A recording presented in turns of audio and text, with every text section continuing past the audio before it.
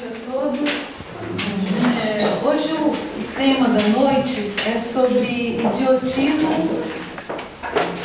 Desculpa aqui, gente, eu errei um negócio aqui.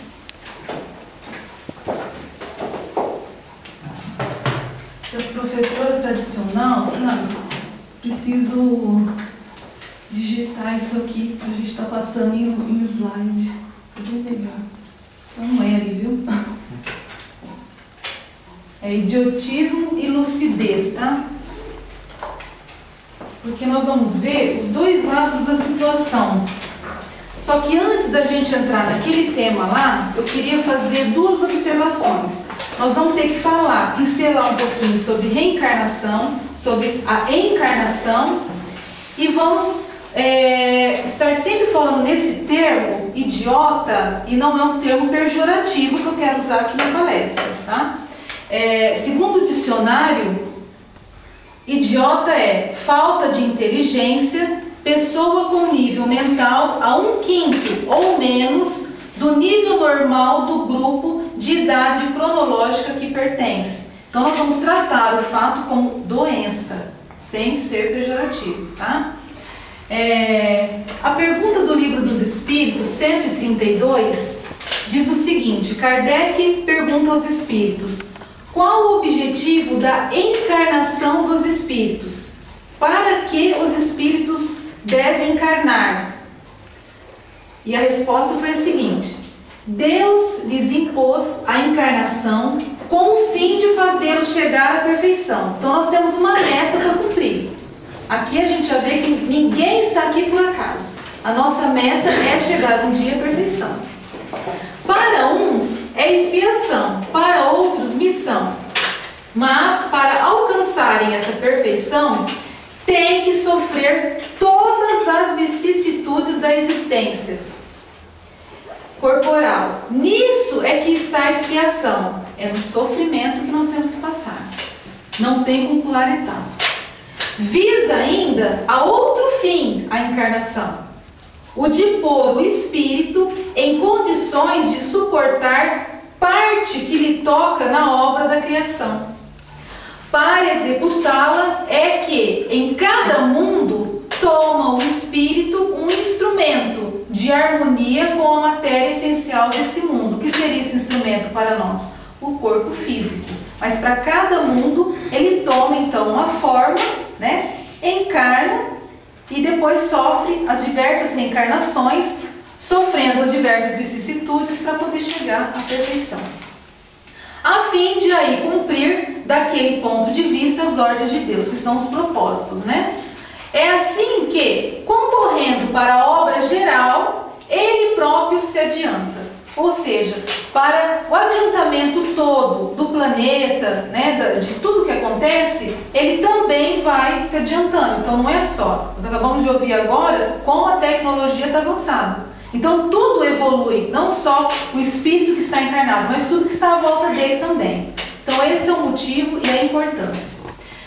No, no é, é algum tempo atrás, há muito tempo atrás, é, nós temos um personagem né, na nossa história que é Nicodemos, que era um fariseu na época, né? E ele era uma pessoa muito boa. As pessoas gostavam muito dele, né? Ele, ele, o que ele podia ajudar as pessoas, ele ajudava. Mas ele tinha uma inquietação muito grande no coração dele.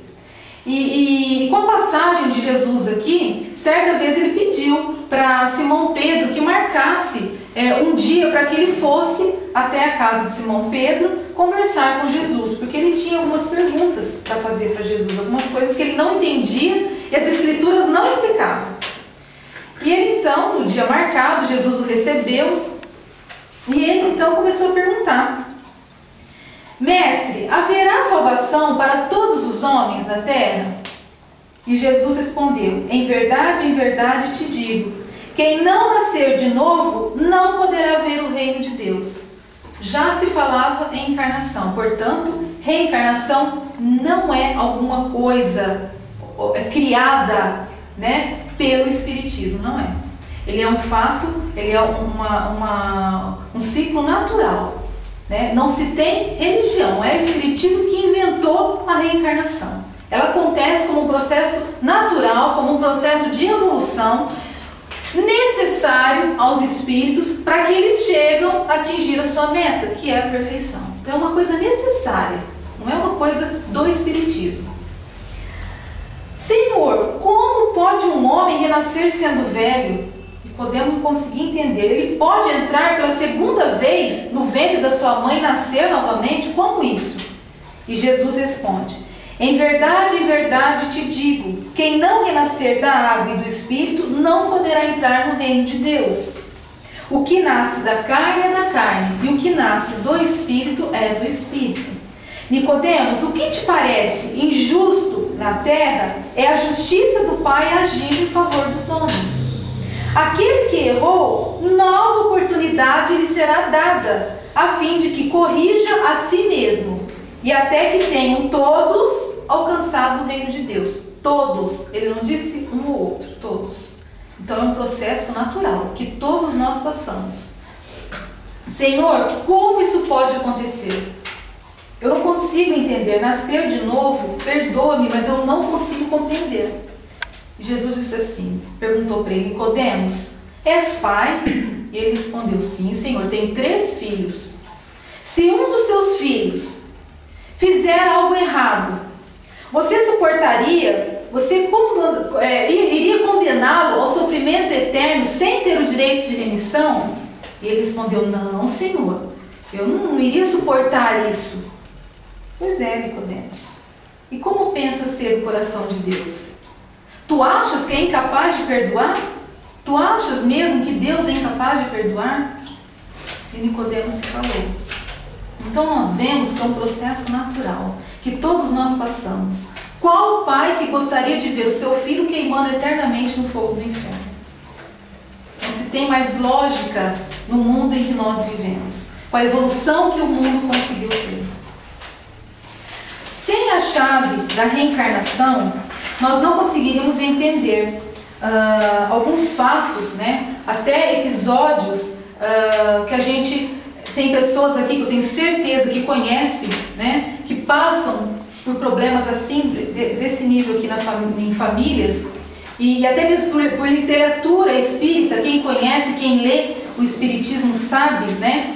É, é, de diversos casos é, que acontecem o idiotismo na família.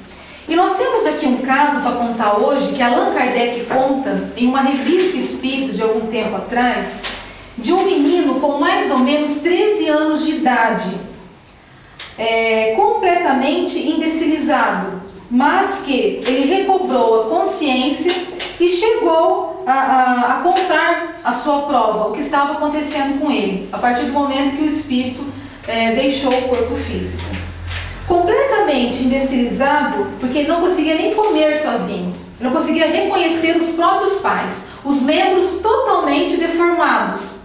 Ele ficava é, em uma cadeira ou em uma cama, a mãe o trocava, a mãe tinha que dar comida para ele na boca, a mãe tinha que dar banho, completamente imbecilizado. O mesmo, é, as faculdades intelectuais desse menino estavam totalmente bloqueadas pelas anomalias que o organismo apresentava. Durante uma sessão da Sociedade Parisiense de Estudos Espíritas e com a orientação do guia espiritual dos trabalhos, eles puseram o menino, esse menino, a uma experiência, a uma prova. E o resultado veio comprovar essa pergunta aqui. E a, e a pergunta também 374 do Livro dos Espíritos, que diz o seguinte: O idiota no estado de espírito tem consciência do seu estado mental? Ou seja, quando a pessoa tem o idiotismo, possui essa doença, o espírito, não estou dizendo a alma quando está encarnado junto ao corpo físico, o espírito, ele tem consciência do seu estado mental? E a resposta dos espíritos diz assim: sim, muito frequentemente compreende as cadeias que o entravam seu desenvolvimento. São uma prova e uma expiação. Então, o espírito tem a lucidez, porém, quando encarnado, quando ele está no corpo físico, ele não compreende.